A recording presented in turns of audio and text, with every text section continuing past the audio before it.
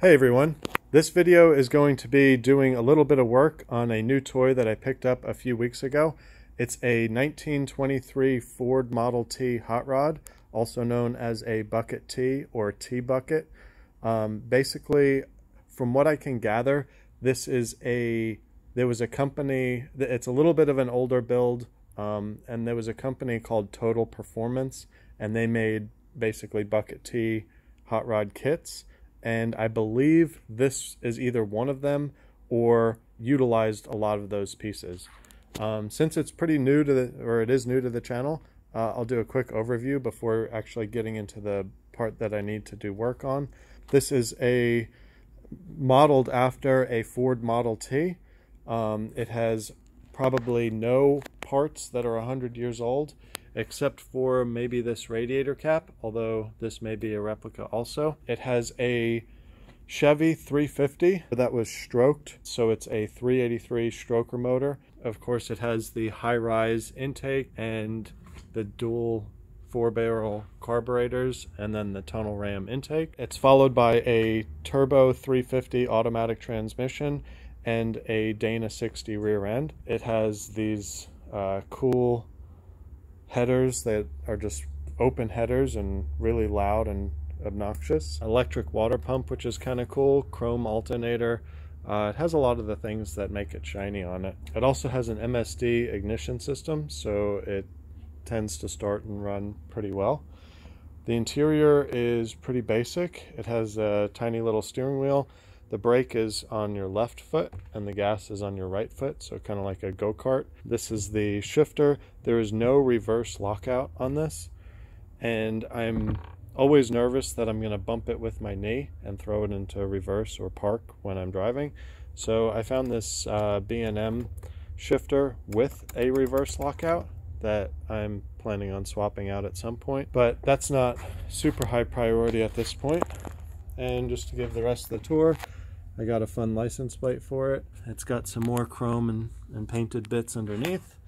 It has these huge rear tires and it's overall just nothing practical about it. It gets about eight miles to the gallon. It's loud. It doesn't steer well. It doesn't brake well. It's really fast and it's a whole lot of fun to drive. That said, I haven't driven it that much and even when I have been driving it, I've been chasing uh, what I think is commonly referred to as a death wobble. Basically, what that means is there's an uncontrollable wobble due to some sort of looseness in the front end steering components or suspension components that makes it very difficult, if not impossible, to control. So I have a quick video of it doing that, or of it so I have a quick video clip of it doing that that will illustrate what's happening pretty clearly.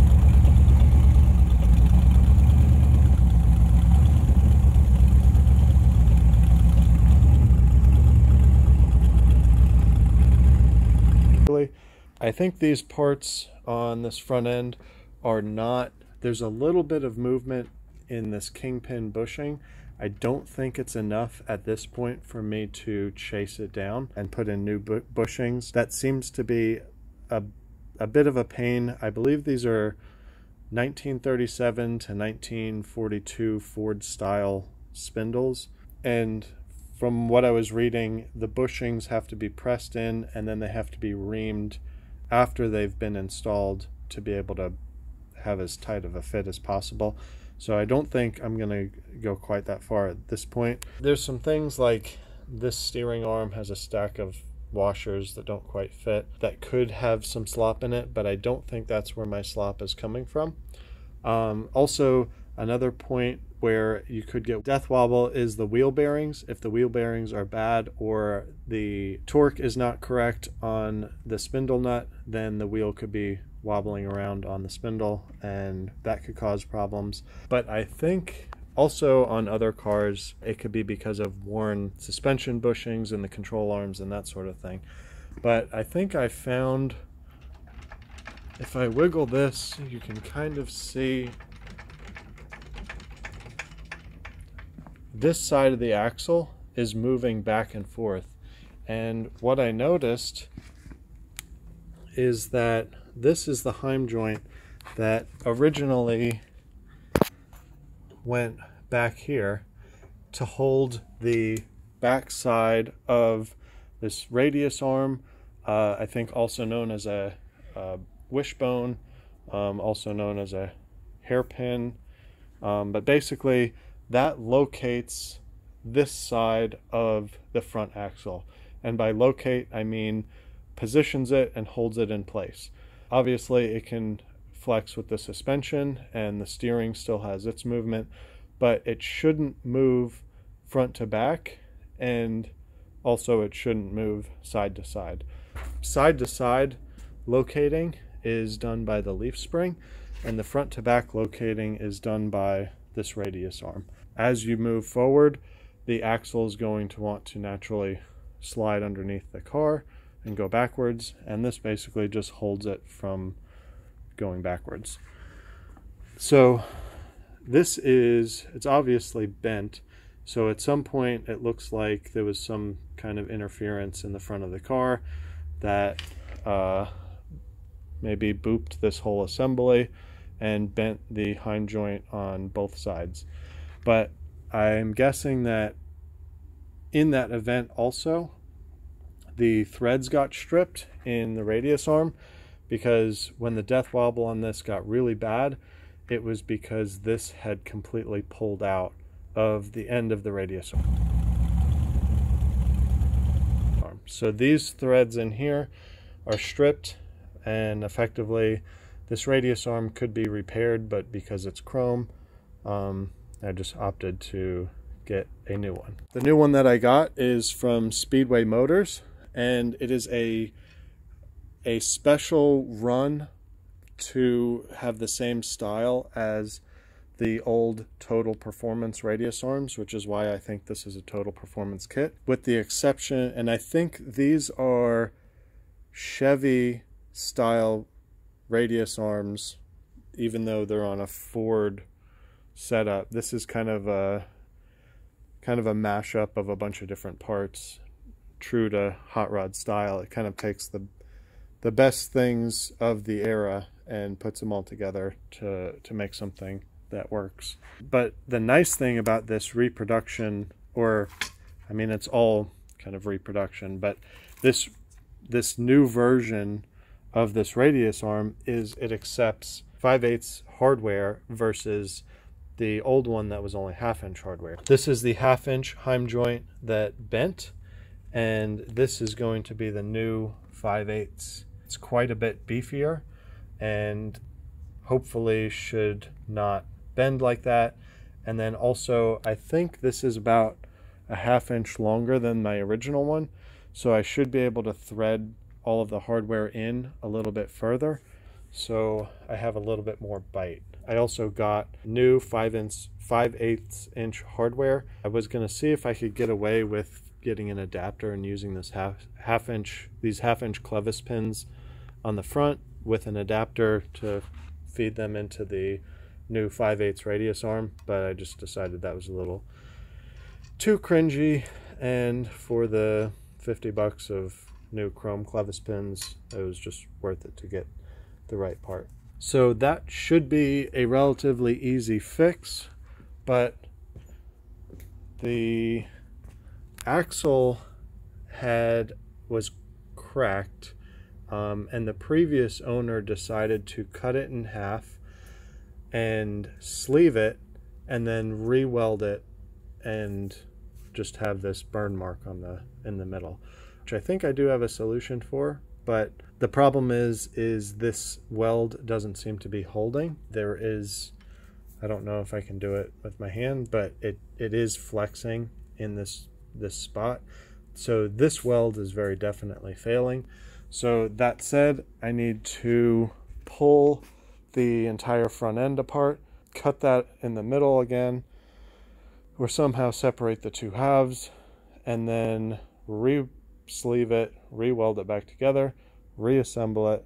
I will be reassembling it with my new radius arms. And I also, there's another thing called Ackerman angle for the steering arms. That will be another video. First things first is to pull this other wheel off, pull all this other hardware off, and get this axle off of the car.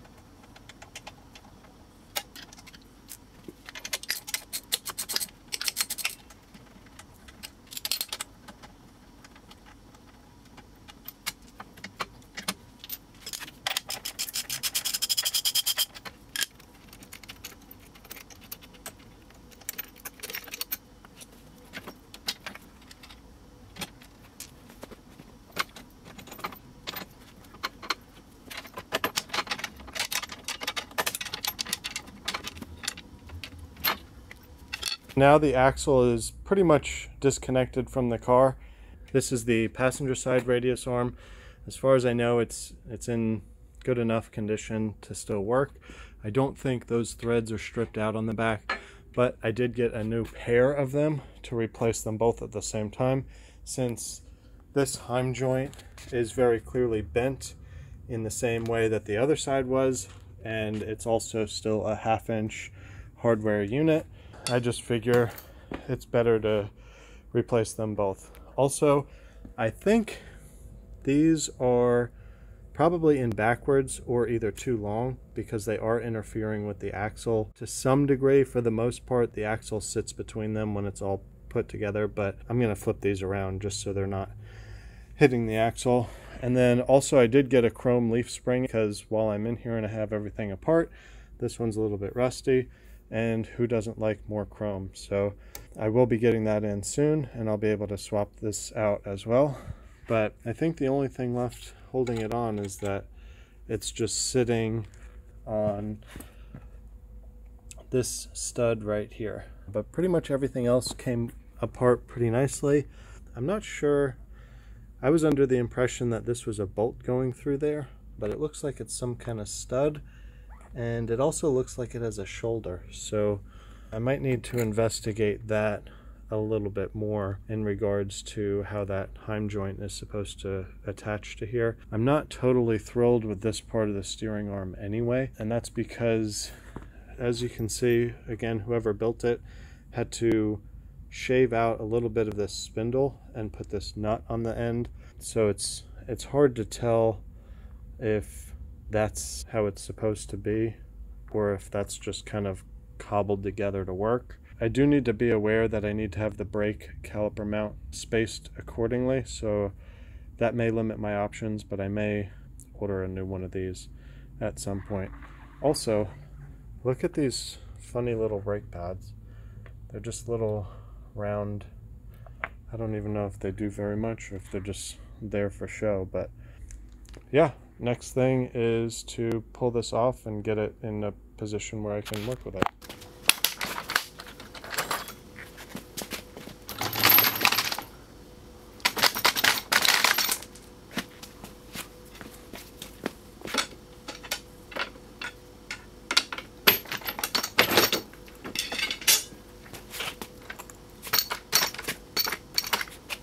So the axle is completely off and ready to start working on. I probably will need to remove that center link at some point, but I just haven't yet.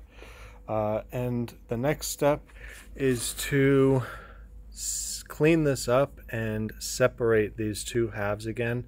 And first of all, find out what's inside. And second of all, decide if that's good enough or if I'm going to need to find something else to sleeve it with. But uh, the important thing is to be able to clean this up to see what I'm working with, but also I need to be through the chrome in order to be able to weld the steel axle. So I picked up this cool tool. It's basically for sanding things that are round and it uses, you can get uh, different grits obviously of sandpaper um, and you can get a skinny one or a wider one. And it takes these I think 30 inch sanding belts. And basically you can it will conform as you push on it. It will it's spring loaded so it keeps the tension and it conforms to the shape of the not flat thing that you're trying to sand so I'm going to give this a try. I think it will be a lot easier and make a lot better result than trying to use like a flap disc or a cutoff wheel or something. Although I may need to use a cutoff wheel or some kind of grinding wheel to actually grind through the weld, but we'll see how sanding actually, how sanding goes first before uh,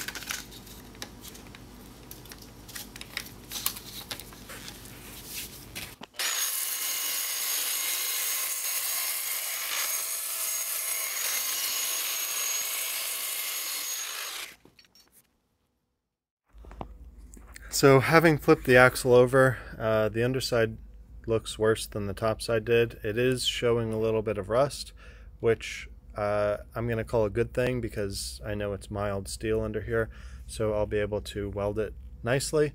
Um, when I'm done, I'll throw a coat of paint on it to keep it from corroding, but you can see the difference. Um, this is sanded, this is not sanded. Uh, the weld definitely looks cracked all the way around.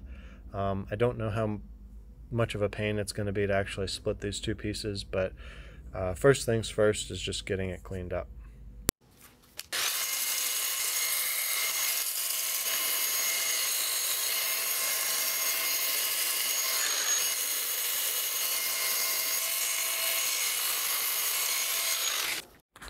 Alright, at this point I'm finished sanding for now. Here's my sander. I took the center link off just to be able to not have it in the way. And I picked up this little bandsaw a little while ago and it cuts really nicely through tube and this is going to be a perfect use case for it. So I got the axle mounted up in there and now it's just the really uncomfortable part of cutting it in half right at the weld. I don't know what it's sleeved with. The guy had said, the previous owner said he sleeved it with something solid. Uh, hopefully, it's not actually solid all the way through, but I guess we will find out. And then we can go from there.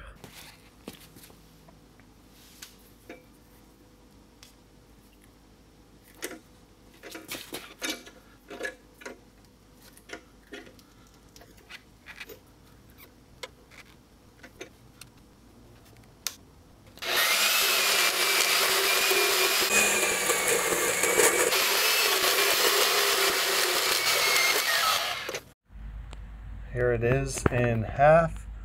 It's not solid, but I'm not quite sure if this first layer is the sleeve or just the second layer is the sleeve. I think this is, if this is like other axles, then it is quarter inch wall. So this first part looks about to be a quarter of an inch. Um, well, maybe the whole thing. And it's just sleeved with this pipe, or this, this tube. So I guess I'm going to uh, I don't know. I think I might end the video here for this video and I'm gonna have to figure out what I need to do and what I need to get um, okay. Well I think that's gonna be it for right now. Thanks so much for watching. Please like and subscribe if you liked this video and you would like to see part two, which will be hopefully putting the axle back together and then reinstalling it back on the car. Comment below with any suggestions or information or anything else that you may want to say. It would be hugely appreciated. And I think that's it. Thanks again for watching. And like I said, stay tuned for part two. Um, also, another point where you could get wheel wah wheel wah wah wee wah